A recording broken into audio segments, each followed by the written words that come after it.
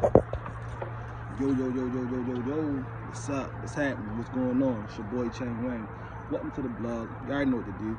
Like, share, subscribe, and hit that bell so you can be notified when I drop these videos. All right, let's get into this whole this whole viral content that's going on right now between Jim Jones and Freddie Gibbs, right? It's all over the internet right now. You got everybody talking about it, especially DJ Akademiks. He is eating this up. Now, the narrative of this story, I have heard so many stories, but I'm gonna try to break this down from what I believe off of all the speculations. Whoopty whoopty whoopty whoop. But let's go back. Let's let's take it back down memory lane. Let's let's talk about the origin of how this whole beast thing started, right? So apparently, Freddie Gibbs is a rapper. I don't really listen to him. Um, but he known on the internet for like trolling, sneak this, and getting under people's skin. Like he then came at people like Meek Mill, uh, Wallo and Gillie the Kid, um, 21 Savage. You get what I'm saying? DJ Akademiks, Jim Jones. So apparently years ago, I can't remember how long ago it was, but y'all remember when um Jim Jones was on that Vamp Life, right? He was repping that Vamp Life real heavy. So he had took a picture, you know, throwing up the uh the VL. So apparently Mr. Gibbs took it upon himself because he's a, a alleged vice lord that basically oh Jim Jones a B, he ain't like that, he fake, he this and he that, stop claiming something that you not whoop de whoop de whoop de whoop, right? Now we all know what Jim Jones is affiliated with. I'm not gonna sit here and say all that. If y'all don't know, y'all do y'all research. Cause I ain't here for all of that. So Jim Jones basically like, look, listen, man, I ain't forget about what you said. You do little sneak distance from here and there. You troll when you want to troll. When I see you, I'm see you. So apparently they was at this spot. It's out. It's out of Miami. It's a restaurant called Prime 112, right? So Vlad, shout out to Vlad, Vlad TV, DJ Vlad, he got the drop. And basically what the story is, basically Jim Jones and his entourage, I don't know if it was security, I don't know if it was people out of his set, his crew, whatever. But they was leaving out. I believe they was leaving out of the restaurant. And they spotted Gibbs, right? So apparently Jim Jones goes over there, some words get exchanged. Now one of Jim Jones people straight swing on him, right? Jim Jones follow up. Now they saying that after that, you know, a scuffle got a scuffle went down, and I guess one of Gibbs, uh, Freddie Gibbs' security got knocked out. They was putting hands and feet on him, allegedly. Now, like I said, it ain't no video footage going on right now. That's the crazy part. There's no video footage, and they and neither one of those two has spoke upon it yet.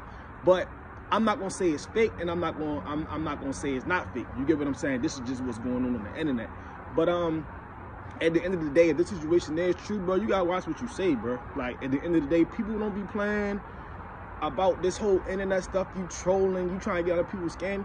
And I ain't gonna say Jim Jones the toughest dude in the world, but I mean, hey, Jim Jones and been in scuffles since I was a kid, so he ain't he ain't afraid to to get hit, take an L, whatever the case may be. We know the guy in the gym. Um, so I mean, listen, you sitting there, you playing with people like that. Jim Jones might not be the one that go the hardest, but it's always somebody that is. So it just goes to show, like, watch what you say, and then it's like, yo, y'all too old for this, man. Like the dude is, what is he? What is Freddie Gibbs like? 38, 39. Jim Jones in his mid 40s, 44, 45. Like, come on, bro.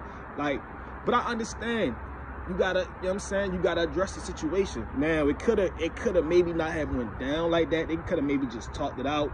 But at the end of the day, listen, you sitting there, you trolling me, you saying this, that, third about me. I gotta see you too at the end of the day. So I'm not saying that he right and I'm not saying that he wrong. But at the end of the day, Slim had what he got coming to you. You can't sit there and be trolling on people thinking that ain't nobody gonna see about you. You get what I'm saying? And then I heard, cause DJ Akademiks been doing some sneak this, and I heard that, what is it, his his father the DA or his brother the DA? I don't know. Basically, you trying to say like, man, that, that boy a snitch. I don't know.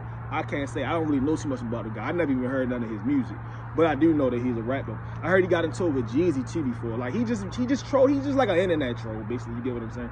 He I feel like he get more clout off of that. But um, hey, I don't know if the situation is gonna be deaded. Um, I don't know if this guy gonna try to get some retaliation because you know how the fans and people they gonna try to hype it up like, oh yeah, you got jumped, you a whoop de whoop, you better go get your get back.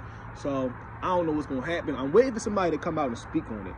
Um, I got him coming out speaking on it, Freddie, before Jimmy did. But Jimmy been getting the backlash off the internet with this whole six nine wiretap conspiracy thing. So I don't even really think Jim Jones gonna do too much of it. Cause the last time I really like seen Jim Jones like publicly was at the Verzuz. You get what I'm saying? And then there was some stuff going on with that, saying he had one of six nine chains on, allegedly. I don't know. I wasn't checking for it, but um, I don't know, bro. If that situation is true, bro, hey, all I'm gonna say is, look, the boy had it coming. Jimmy was on it.